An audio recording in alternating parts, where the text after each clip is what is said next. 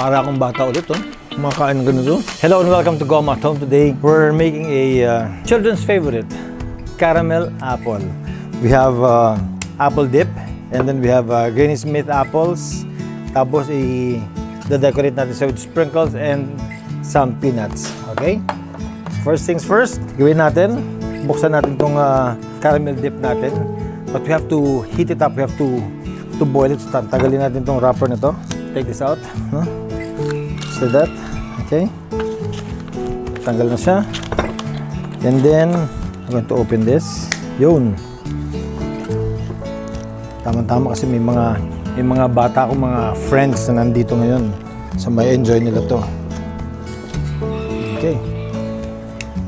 Open this up. And since matigas pa siya, what we can do is just put it directly sa sa sa boiling water natin. Just like this. Put it hot water. Yan. And we heat it up for an hour and a half. Okay? Kasi malaki siya yung can eh. So, habang pinapainit natin siya, gagawin natin, itong ipe-prepare naman natin itong mga apples natin. So, this is what we'll do. Kailangan mainit na mainit yung tubig natin, tapos i-dip natin itong apple natin. Paano kasi, itong apples na to, pag binili mo to sa grocery, may feel mo meron pa siyang wax. Oh. So you want to take that out when you make uh, candy apple. No? Kasi pag hindi, pag nilagay mo yung caramel doon, tutulo lang yung caramel niya kasi hindi siya didikit doon sa skin ng apple. So what you do, just like that. Hmm. Yan mo lang, makikita mo, makikita mo nagwa-white doon. That means yung talagang meron siyang covering na wax. So dip it for about mga 10 seconds and in boiling water. And then pupunasan lang natin siya para matunaw, matanggal yung ano yung wax niya. Okay? At kung siya masyado matagal. And then, ano lang, punasan mo para matanggal yung wax niya. Ito, kita mo, iba na yung color. Hindi siya as shiny. Kita mo yung difference? See the difference? This one has wax. This one doesn't have wax anymore. Huh? So do the other one. Next. Alam nyo, very popular to sa Amerika. Sa iba, ang tawag nila dito is sa uh, toffee apple, no? Yung sa labas ng, ng Amerika, toffee apple. Pero sa sa States, they call it candy apple. Na-discover itong gawin ni Miss Edna Castro ng Amerika in 1948, so right after the war. Nilalagyan nila ito ng, uh, ng wax coating sa sa mga groceries para ma-preserve lang yung yung quality ng skin ng uh, ng fruit, no? Para sa ganun, maganda siyang tignan pag, pag nandun sa shelves ng, ng grocery. Makintab, tapos yung mga insects dumudula sila, hindi la, hindi lang nape-penetrate kaagad yung skin. After 1 hour and 30 minutes of boiling our caramel dip, go. So, makita natin na yan, medyo malambot-lambot na. No? Then I will, will mix it a little. Although it's hot already, pero i-measure ko lang yung temperature niya. Dapat nasa 180 tayo. 160? Yeah, 161. Kulang pa. So, makikita mo, medyo matigas pa yung caramel dip natin. Sarap. So, sweet. I'll give it another 30 minutes. Ayan. Diyan ka muna. Painit ka muna. While we're doing that, i-prepare na natin itong mga apples natin. Nalagyan natin yung yung stick niya. Yun na, take out the stalk. Yan itusok mo lang doon sa gitna. Yun. Yun lang. So just repeat the whole process. Yun. Hanggang dyan lang. Oh. Sakto, para pagkagat mo. Woo! Yum yum! Once ready na yung caramel natin, i-dip natin tong uh, apple natin.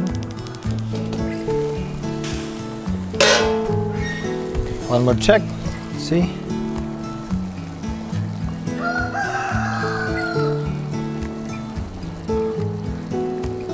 Sixty-eight, sixty-nine. 170 10 more degrees okay 10 more degrees and we're ready to go hmm. init ng caramel hmm. up okay. Good. 178.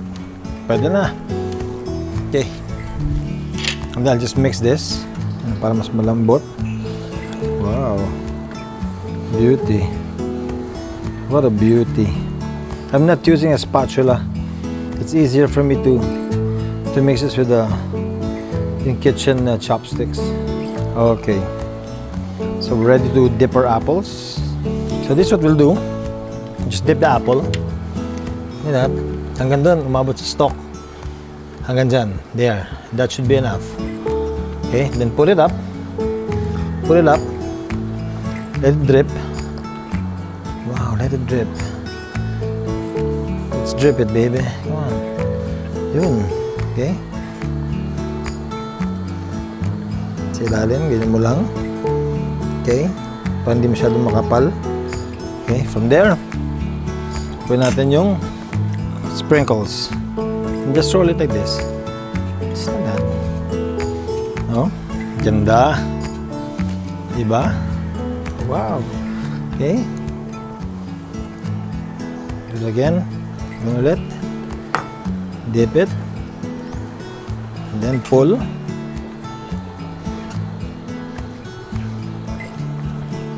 Okay. Then roll it again. Sprinkles. Kids will love this. Kids will love this. Remember, pagkatapos na nito, huwag mo kagad ibibigay sa mga bata. Do not serve it right away. Allow it to cool for about mga 30 minutes kasi mainit pa yung ano eh. Mainit pa tong caramel eh. Kami yung mga bata pag nakakita ng candy na ganyan, kinakagat ka agad. eh. So, you don't want to hurt those kids.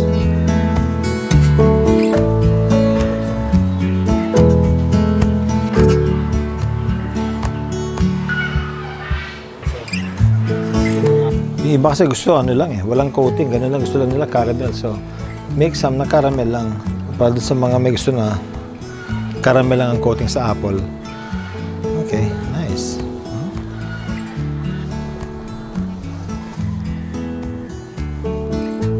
So there you go.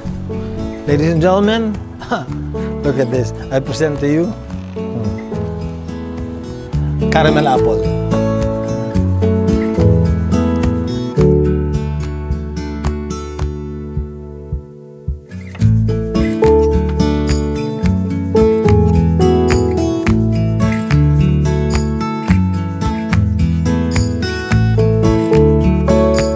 This.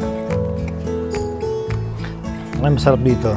Sprinkles, caramel, or with peanuts. Sa peanuts ko. Yun.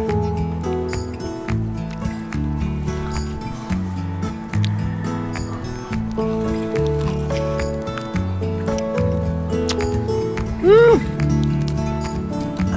Perting lami ako. Sarap. Para akong bata ulit, oh. Kumakain ganito. I remember the first time I tried this was in either Disneyland or Knott's Berry Farm. Yeah. Sarap, Knott's Berry Farm, I think. Mm. Wow. Talagang naalala mo yung pagkabata mo, no? Ang problema, pag matanda ka na, kasi utak mo pag parang pagbalik sa pagkabata, naku, delikado na. Okay na to, ganito lang. Hmm, okay. I hope you enjoyed this episode. Thank you for thank you for joining me right here. Natawanan nyo, nagbalik bata na may utak ko. Thank you for joining me right here in Gom at. Please like, subscribe, and uh, leave a comment. And don't forget to press on the notification bell. Okay. Try to do this, do this in your own kitchen. Um, kung tinatanong nyo saan ko nakuha tong ng caramel dip na to na nasa lata, I ordered this, uh, I ordered this uh, Amazon.com. But the rest ng mga steak, mga apple, can buy in the grocery. Okay? So, thank you so much for joining me. I'll see you next time. Bye.